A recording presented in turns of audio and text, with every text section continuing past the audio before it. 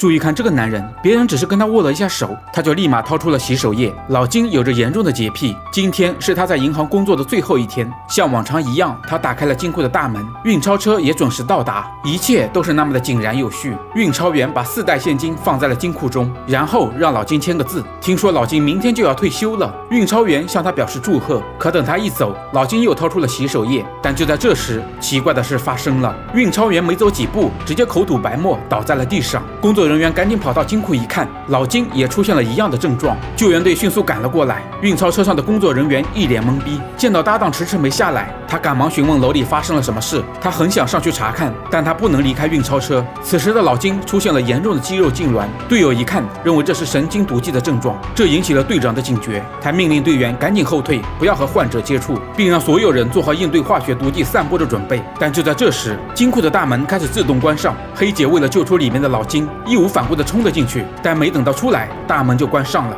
就这样，黑姐和老金被困在了金库里。队长让工作人员打开大门，但保险库是定时装置，只能等到明天这个时候才能再次打开。除此以外，就只能联系保险库公司了。就在这时，队长通过监控看到里面的黑姐也出现了同样的症状，情况变得十分危急。不久，生化危机处理队也赶了过来，他们迅速在外面搭起消毒站。队员尝试用切割机来打开金库，但显然不行。为了保障里面的人有足够的氧气，他们断掉了银行的电源，然后开始在金库的大门上钻孔。银行的所有员工都被带去消毒，然后换下衣服被送去医院隔离。另一边的救援队也终于钻出一个小孔，他们把管子放进去，然后打开电源，开始给金库送氧气。保险库公司的技术员正在想办法远程开门，但他们不能干等。队长联系到一名工程师，工程师通过各种关系成功拿到了银行的构造图。工程师发现，由于金库是后建成的，有一面墙用的是原来的建筑，也就是说这面墙可以直接打通。说干就干，救援队拿来工具准备打通这面墙，他们开始在墙上钻孔。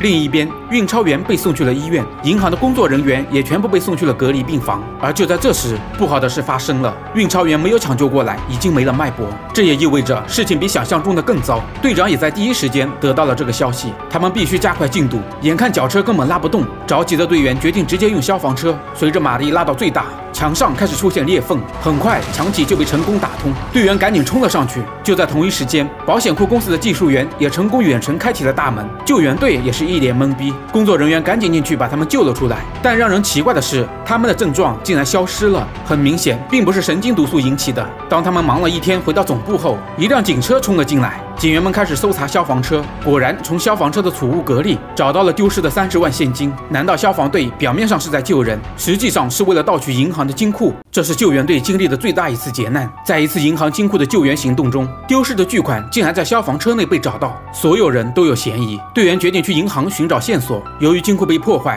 工作人员正在清点财物，然后转到其他支行。当天发生的每一个画面都在黑姐的脑袋浮现。这时，她低头一看，发现了老金的那瓶洗手液。警警员得到消息，迅速赶到，并赶紧拿去化验。黑姐认为洗手液里可能含有毒素，下毒的很有可能就是老金。而就在这时，银行经理发现金库里丢失了价值六百万的钻石。警方火速赶到老金的家里，但敲门却无人回应，门也没有上锁。警方开门后发现老金已经死在了地上，在他的身上也没有发现钻石。难道是同伙抢走钻石，然后杀人灭口？案情变得更加扑朔迷离。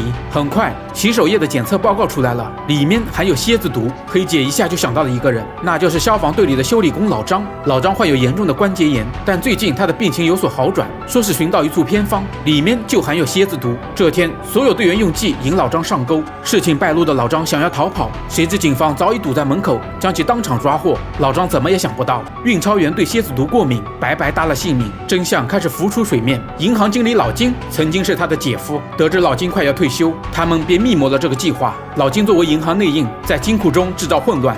趁着大家的关注点都在金库上，老张借着混乱假扮工作人员，让运钞车司机下车去消毒，自己则偷偷潜入运钞车，偷走了三十万现金，然后藏在了消防车里，接着扔掉衣服，潇洒离开。但他怎么也想不到，当他来取走现金的时候，已经来晚了一步，现金已经被警方提前找到，而举报者正是老金。因为老金是个双面间谍，他之所以同意这场计划，并不是为了三十万现金，而是为了金库里价值六百万的钻石。为此，他经常闭眼练习寻找钻石的位置。以以便当天切断电源后能顺利的偷走钻石。他以为一切都在他的计划当中，但事故当天还是出现了意外，那就是黑姐不顾性命的冲进去救他，这打乱了他的计划，他不得不将黑姐毒晕。电源切断后，老金将六百万的钻石洗劫一空，并在顺利逃脱后，在医院举报了运钞车抢劫案。他本可以逃到国外过上衣食无忧的生活，但没想动作不够快，同伙找上了门来。觉得被出卖的老张痛下杀手，并抢走了钻石，但老张什么都承认，就是不承认杀了老金，抢走钻石。